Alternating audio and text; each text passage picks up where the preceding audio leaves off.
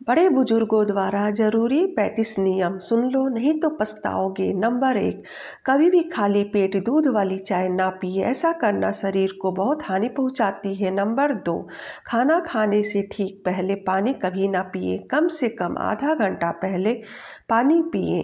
इसी तरह खाने के साथ साथ भी पानी नहीं पीना चाहिए। खाना खाने के कम से कम आधे घंटे बाद पानी पिए। इससे आपकी पाचन शक्ति हमेशा दुरुस्त रहेगी। नंबर तीन हर रोज़ कम से कम सात से बारह गिलास पानी ज़रूर पिए। इतना पानी पीना स्वस्थ रहने के लिए और शरीर की पूर्ति के लिए ज़रूरी है। नंबर चार, पानी कभी भी ऊपर से ना पिए। पानी हमेशा मुँह लगाकर ही पीना चाहिए और थोड़ा थोड़ा करके ही पीना चाहिए। खड़े खड़े ऊपर से पानी पीने के कारण घुटने और किडनी खराब हो जाती है। नंबर पाँच अगर शुगर हो गया हो तो रोज़ाना सुबह के वक्त निहार मुँह ताजे आंवले का रस एक चम्मच शहद मिलाकर सेवन करना चाहिए।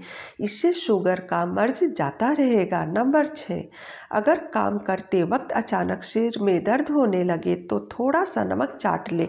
इससे सिर दर्द में आराम मिलेगा। नंबर सात बासी रोटी खाने से दिमाग तेज होता है। नंबर आठ, अगर आपके हद से ज़्यादा बाल झड़ते हैं तो रोज़ाना सौफ का सेवन करें। इससे जल्दी ही बाल झड़ना बंद हो जाएँगे। नंबर नौ, प्याज के रस में नींबू का रस मिलाकर पीने से उल्टी आना तुरंत बंद हो जाती है। नंबर दस, अदरक और लौंग इलायची वाली चाय पीने से थकावट दूर हो जाती है। नंबर ग्यारह प्रतिदिन गर्म पानी में नींबू और शहद मिलाकर खाली पेट पीने से मोटापा दूर होता है, नंबर बारह।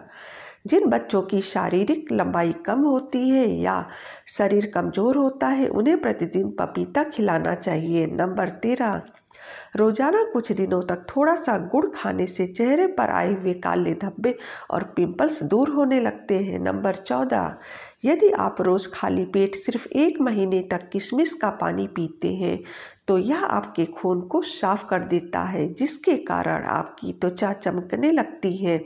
और सारी कील वहाँ मुहासे धीरे धीरे गायब हो जाते हैं। नंबर पंद्रह।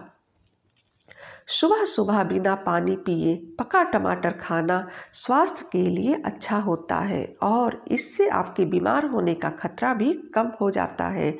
नंबर सोलह।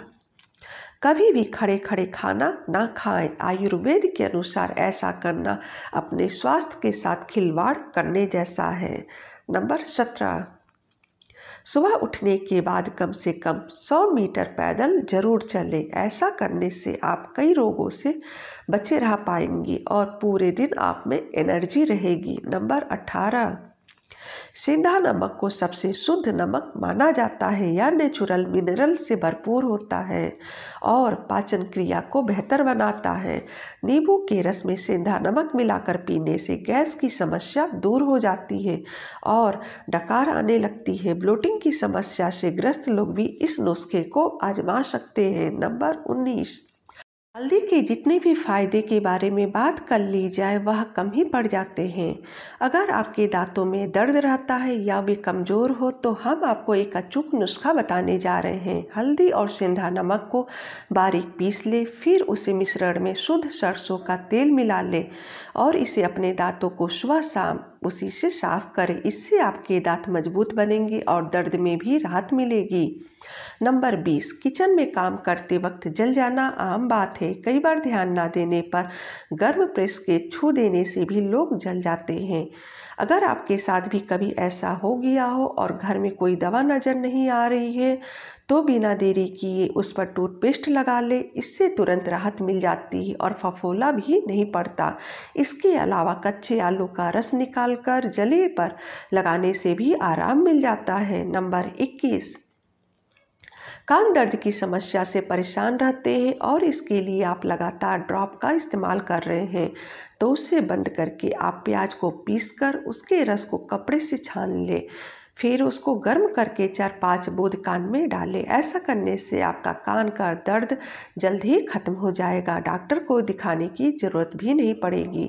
नंबर बाईस, कपड़ों का पीलापन दूर करना हो तो कपड़े पर नींबू का रस लगाकर कुछ देर छोड़ दे। दाग दूर हो जाएगा। नंबर तेईस पुदीने की चटनी खाने से नींद कम आएगी। नंबर चौबीस, अगर ज़्यादा वज़न बढ़ रहा हो तो कद्दू का जूस बनाकर पिए। वज़न कम होने लगेगा। नंबर पच्चीस, अगर आप रात को सोते समय एक गिलास पानी और एक लौंग खाकर सोते हैं तो आपको कब्ज, तेजाब और पेट दर्द नहीं होगा। नंबर छब्बीस, सलाद का सेवन रोज़ाना करें। इससे आपका पेट बाहर नहीं आएगा। नंबर सत्ताईस गुड़ वाली चाय पीने से दिमाग तेज होता है। नंबर अट्ठाईस, गुलाब के फूल चेहरे पर मलने से दाग धब्बे दूर हो जाते हैं। नंबर उनतीस, दांतों पर नींबू का रस मलने से दांत मज़बूत और साफ़ हो जाते हैं। नंबर तीस, लौकी में फाइबर की मात्रा अच्छी होती है, जो पेट की समस्याओं को दूर करके पाचन समस्या को सुधारती भी है। लौकी का जूस पीने से एसिडिटी की समस्या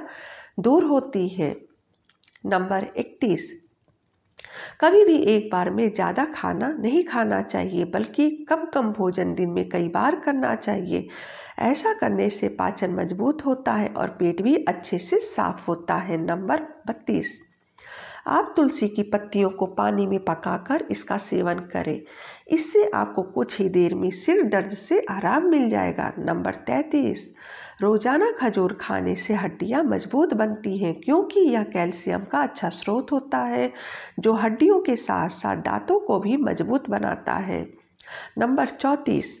रात को सोने से पहले थोड़ा सा नारियल तेल लेकर चेहरे के दाग धब्बों पर लगाएँ।